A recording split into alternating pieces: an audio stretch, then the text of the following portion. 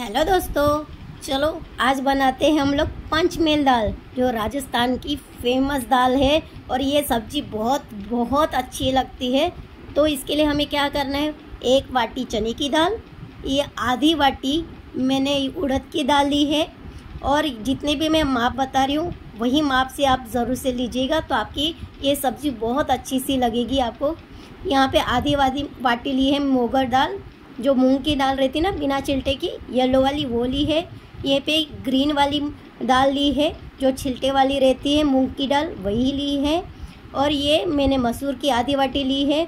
मैंने सब माप आपको बताया, एक वाटी ही चने की दाल, बाकी सब जो चार वाटी की दालें हैं, वो आधी आधी वाटी लेने अभी ये सारी चीज़ों को हमें तीन से चार बार वॉश कर लेना है। और वॉश करने के बाद इसे हम कुकर में यहाँ पे पाँच से छः सीटी बजाएँगे, जिस वजह से ये बहुत सॉफ्ट हो जाएगी और इसमें थोड़ी सी हल्दी ज़रूर से डालिएगा। ये देखिए, ये मैंने कुकर में रख दिया है और अभी आगे की तैयारी करते हैं। चलो तो उसके लिए मैंने एक बड़ा सा कांदा लिया है, उसको मैंने कटिंग करके छोटे छोटे चॉप कर लिया है और इसी तरह से मैंने टमाटर को भी एक चम टमाटर बड़ा वाला, उसे भी चॉप कर लिया है। और साथ ही साथ अपना ये सीटी बच के ख़त्म हो गई है, पाँच सीटी इसलिए मैंने बंद कर दी। और साथ ही साथ लहसुन, अदरक और मिर्ची का पेस्ट लिया था।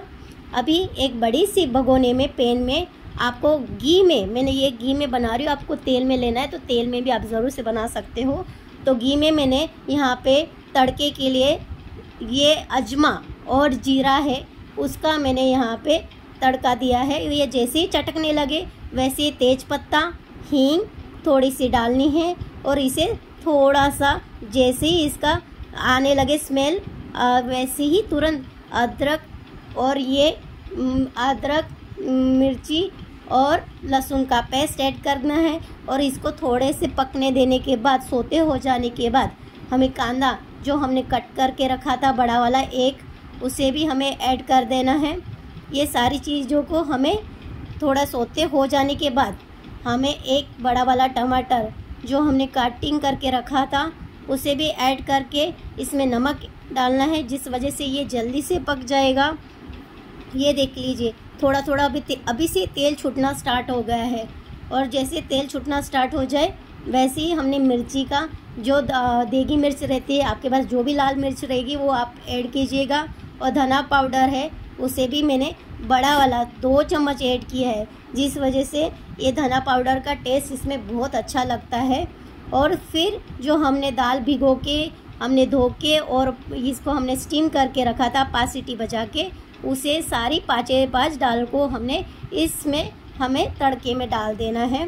ये देख लीजिए, और जैसे ही हम ये डालेंगे तो उबलने देना है। जितना उबलेगा, ये पाँच से दस मिनट उबलने देने के बाद हमने क्या किया है?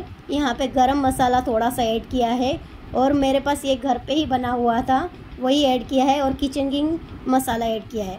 और लास्ट में मैंने कसूरी मेथी ऐड की है, उसकी जैसे सुगंध आना स्टार्ट हो जाए, आपको ये पंचमेल दाल रेडी हो जाती है। अभी इसको हम थोड़ा सा तड़का देंगे। हमेशा राजस्थानी जो बनते हैं, उसमें घी का तड़का तो बनता ही है तो हम क्यों रह जाए? चलो, हम भी बनाते हैं। इसमें मैंने ज़ीरा और सिर्फ़ लाल मिर्च का तड़का बनाया है और ये कलर और स्वाद दोनों ही बढ़ा देता है। ये देख लीजिए, कितना बढ़िया लग रहा है ना?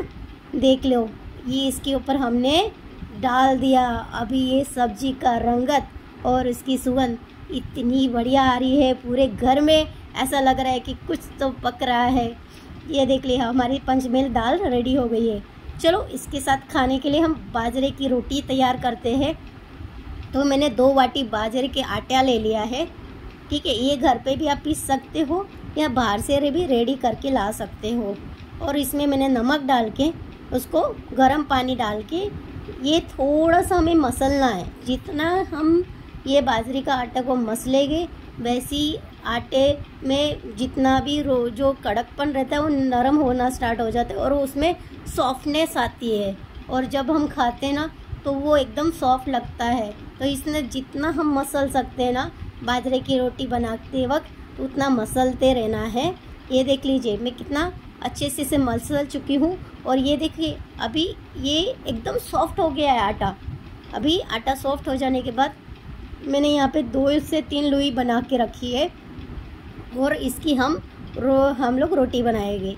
तो ये बाजरे की रोटी आप हाथ से भी बना सकते हो। ये देख लीजिए, हाथ से भी बहुत इजी बनता है। अगर आपको हाथ से नहीं जमता है तो आपको क्या करना है? थाली में आपको नीचे आटा पर रखना है। आटा डालने के बाद ऐसे ही नीचे हमें रख देना है, ये देख लीजिए।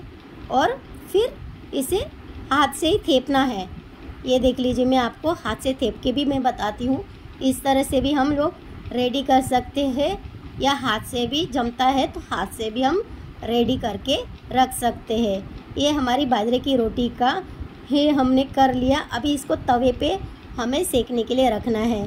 थोड़ा धीरे से रखिएगा मेरे थोड़ा सा टूट गई, ज़रा गाय गाय में करने गई, इसकी वजह से। अब थोड़ा शांति से कीजिएगा।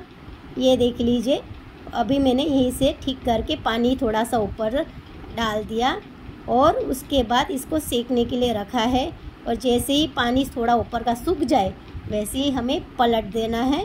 पलट के आपको थोड़ा सा, जैसे ही दाने दाने दाने ऊपर आ जाए, वैसे ही आप गैस पे आपको उलट पलट करके इसे सेक देना है। ये देखो हमारे बाजरे की रोटी रेडी हो रही है। आप खाइएगा और ज़रूर से बचाए, बताइएगा कि भाई पंच मेल दाल के साथ ये बाजरे की रोटी आपको कैसी लगती है? और इसको घी के साथ आपको खाना है, बहुत मस्त लगता है।